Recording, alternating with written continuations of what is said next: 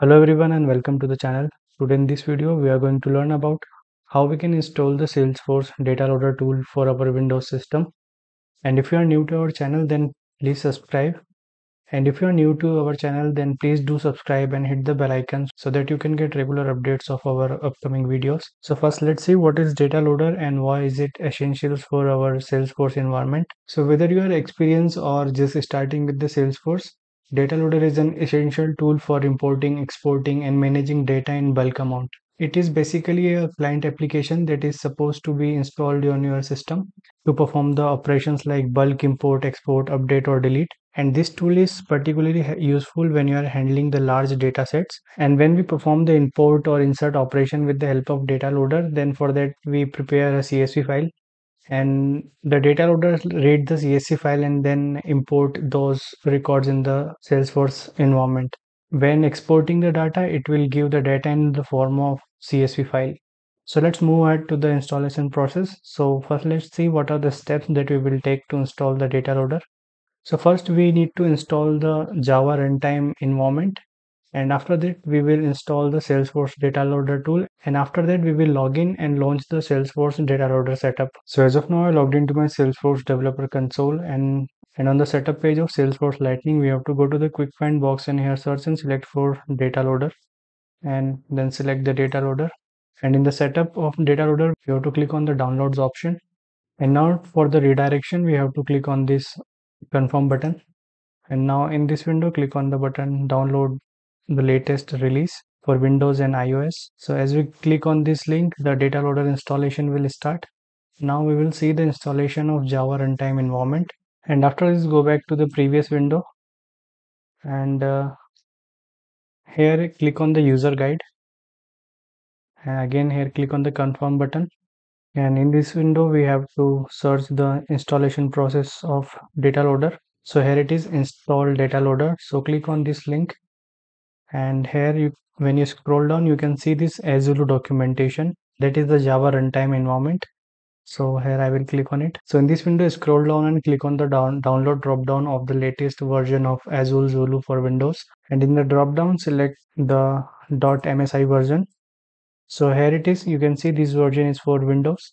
And in the download drop down I'm selecting the option .msi so now we will first launch the Java runtime environment. For that we will open the installation folder of the Java runtime environment installation file and here we will click on the next button and here you can set the path of the Java runtime environment according to your requirement or where you want to set the path and after this you have to click on next button and at last click on this install button. So it might take a couple of minutes to install the Java runtime environment setup and as you can see the installation process is finished. So here we have to click on the finish button. So now we will go back to the file where we have installed the salesforce data loader setup. So here from the so here from the downloaded location we have to unzip the file that is in the bundle of data loader setup. So first we will unzip the files. And after that we have to run that and after that we have to run this install that bat file. So now the system is checking whether the Java runtime environment is installed or not. And here in this step, we have to click on the yes button and it is asking us to create a shortcut. That means you want to create a shortcut for the desktop. So here I want to create a shortcut. So here I will type the yes and it is ask, also asking to create a start menu. So here you can also select yes or no according to your requirement.